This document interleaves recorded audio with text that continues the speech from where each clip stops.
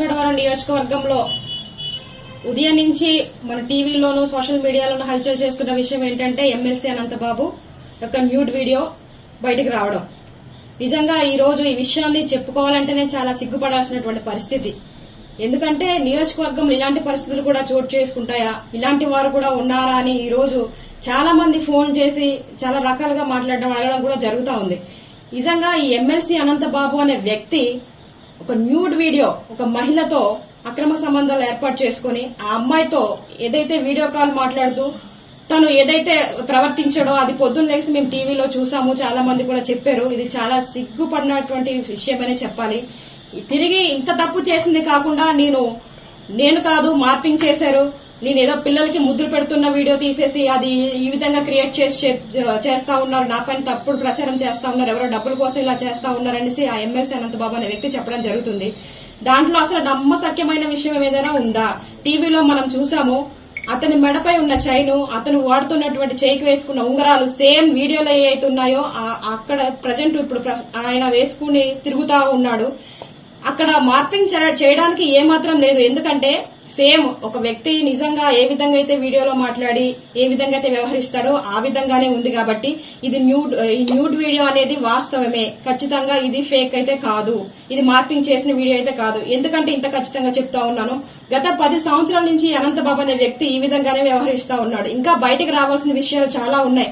అతనికి భయపడి చాలా మంది మహిళలు ఇంకా లోపలే కుమిలిపోతున్నటువంటి పరిస్థితులు. మనం ఉమ్మడి కూటమి ఏర్పడిన కొద్ది రోజుల్లోనే చాలా మంది మహిళలు వచ్చి ఈ రోజు అమ్మ మన కూటమి ప్రభుత్వం వచ్చింది మన చంద్రబాబు నాయుడు గారు వచ్చారు మాకు ఒక ధైర్యం ఉంది మాకు న్యాయం జరుగుతుంది అనేసి వాళ్ళకి జరిగినటువంటి చాలా రకాల ఇబ్బందులు అంటే ఉద్యోగాలు ఇప్పిస్తారని లేకపోతే కాలేజ్ సీట్ కావాలన్నా సరే ఆ- వాళ్ళు పర్సనల్ ప్లేస్కి రమ్మడం లేకపోతే ఆ ప్లేస్ నుంచి బద్రీకి చేయాలన్నా సరే అతని దగ్గరికి వెళ్తే వేరే దగ్గరికి రమ్మండం రకరకాలుగా మహిళల్ని చాలా దారుణంగా వేడి- ఏడిపించినటువంటి పరిస్థితులు గతంలో జరిగినాయి.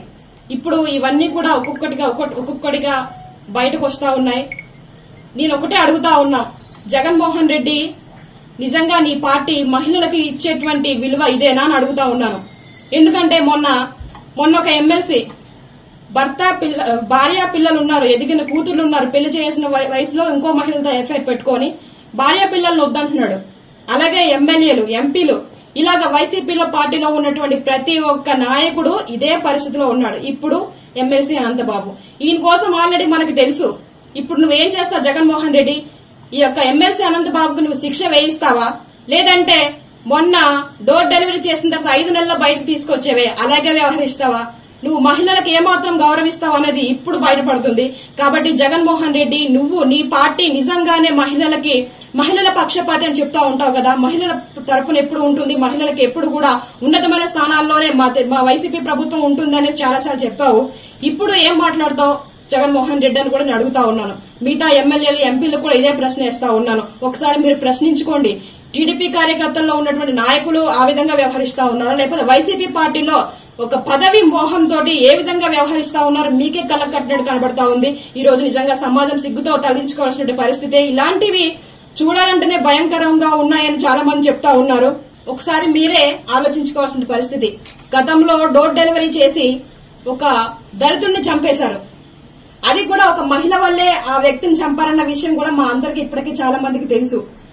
ఇప్పుడు ఆ విషయం కూడా మీ ప్రభుత్వం హయాంలో ఏం చేశారంటే దాన్ని కప్పపూర్తి చేసి కొందరు నాయకులు లేకపోతే కొందరు ఐఏఎస్ సహకారంతో ఐపీఎస్ సహకారంతో ఆ కేసుని అలా దారి మళ్ళించి ఆ పాపం చనిపోయిన వ్యక్తి కుటుంబానికి ఎటువంటి న్యాయం జరగకుండా చేసినటువంటి పరిస్థితులు చూసాం మేము. ఇప్పుడైనా సరే ఇతని ఇతని వెనకాల అనుచరులుగా ఉండి పన్నెండు మంది వరకు అనుచరులు ఉన్నారండి. ఎలా అంటే ఈ అనంతబాబు ఏది చెప్తే అది చేస్తారు. వాళ్ళ దగ్గరికి వెళ్ళి డబ్బులు తీసుకోరండి అంటే వాళ్ళు వెళ్ళి తీసుకొస్తారు. ఇతను వెళ్ళాడు ప్రత్యక్షంగా. పరోక్షంగా అతని యొక్క అనుసరణ ఇలాగా మన రంపచోరం నియోజకవర్గం ఇంచుమించుగా పన్నెండు మంది వ్యక్తులు ఉన్నారు. వాళ్ళ పేర్లు కూడా నా దగ్గర ఉన్నాయి. ఏదైతే ఈ దళితుడు చంపేసినటువంటి కేసు ఉందో అందులో ఆ కాకినాడ బీచ్లో పన్నెండు మంది వరకు కూడి ఆ అబ్బాయిని చాలా చిత్రహింసలు పెట్టి ఇసుకలో తొక్కేసి అంత దారుణంగా చంపినప్పటికీ కేవలం ఒక వ్యక్తి పైన కేసు నమోదు చేశారు. ఎంత తప్పండి అది? ఎందుకలా చేశారు? ఒక వ్యక్తి చంపగలడా? కారులోనూ అప్పటికే వీడియోలు ఉన్నాయి. అది కూడా ఆ వీడియో రికార్డింగ్లో ఒక మహిళ కూడా ఉంది. ఆ మహిళ ఎవరు? ఆ మహిళతో అక్రమ సంబంధం ఏర్పాటు చేసుకున్నటువంటి అనంతబాబు ఈ విషయం ఈ యొక్క డ్రైవర్కి తెలిసింది. ఎక్కడ ఇతను బయటకు చెప్పేస్తాడో? మీడియా వాళ్ళకి చెప్పేసి నా పరువు పోతుందనే ఒక ఉద్దేశంతో ఆ వ్యక్తిని తీసుకెళ్ళి ఆ సుబ్రహ్మణ్యం తీసుకెళ్ళి కాకినాడలో చంపేసినటువంటి పరిస్థితి. ఇప్పుడు ఈ వ్యక్తుల పేర్లు కూడా బయట పెడతా ఉన్నాను. త్వరలోనే ఈ యొక్క డోర్ డెలివరీ చేసినటువంటి ఈ సుబ్రహ్మణ్యం అనంతబాబు కేసులో సుబ్రహ్మణ్యం కేసులో కూడా సిబిఎం ఎంక్వైరీ వేసేసి త్వరగా ఎంక్వైరీ చేసి ఇతను ఖచ్చితంగా శిక్ష పడాలని మనస్ఫూర్తితో కోరుకుంటా ఉన్నాను. అంతేకాదు ఇతను ఇప్పుడు వచ్చి నువ్వు ఈ వీడియో బయటకు వచ్చిందనే కాదండి. రంపచోడం నియోజకవర్గంలో ఇతను చేసినటువంటి అక్రమాలు ఇన్ని అన్ని కాదు. మీరు మొన్నే చూసుంటారు. ఎప్పుడూ మా నియోజకవర్గంలో ఒక మహిళల్ని అంత దారుణంగా చంపేసినటువంటి పరిస్థితి ఎక్కడ లేదు. కానీ మొన్న తిమ్మాపురం కాలువలో ఒక మృతదేహం ఒక మహిళ ఇదిగోండి. ఎవరో గుర్తు తెలియని మహిళ ఏలేరు కాలువ దగ్గర చంపేసి తలకి తల మొండనికి మొండం పడేసింది. ఇది ఎక్కడ జరిగింది? ఏంటి? ఏ మహిళ అన్న ఎంక్వైరీ కూడా ఇంకా లేదు. ఇలాంటి పరిస్థితులు జరుగుతా ఉన్నాయి ఏమో మాకైతే ఒక డౌట్ వేస్తుంది.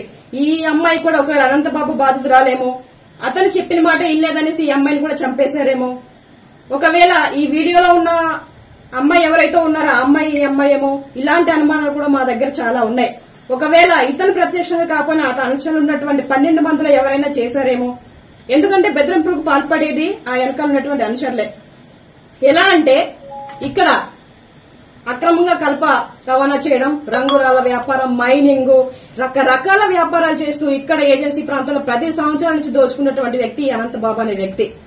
ఇంత అరాచక పాలన కొనసాగించాడు. అంతేకాదు డమ్మి మహిళలను పెట్టుకుని రాజకీయ ఒత్తిడులు తీసుకొచ్చి అదే ప్రభుత్వ ఉద్యోగుల మీద ప్రతి ఒక్కరి మీద కూడా నానా రకాలుగా ఇబ్బందులు గురి చేసినటువంటి నీచపు వ్యక్తిత్వం కలిగిన వ్యక్తి ఎవరైనా ఉన్నారంటే ఈ ఎమ్మెల్సీ అనంతబాబు వ్యక్తే.